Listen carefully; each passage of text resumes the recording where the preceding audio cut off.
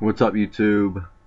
Tamrick here, just uh just showing another video. I just wanted to prove to you guys that it actually does work. I go into themes, I show you the install op, like part of it and everything that I have on my flash drive. Theme wise does come up, but I didn't install them because they're already installed. And then I show you everything. I made a mistake, I go back to the same one, but I forgot you have to switch to like a different theme, then you can go back. But yeah, I showed you all of them, then I saved my favorite for last, which of course is a strange music theme. It's fucking mm, sexy.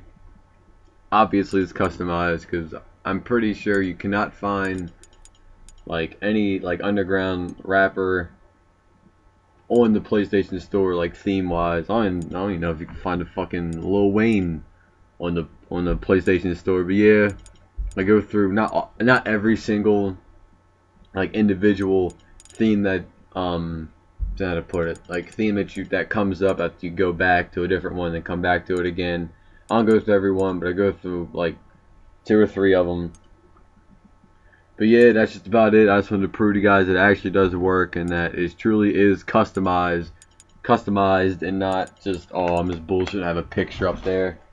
That's why I scrolled through all this shit and showed it to you. But yeah that's it Hope y'all enjoyed. Comment, rate, subscribe. Peace.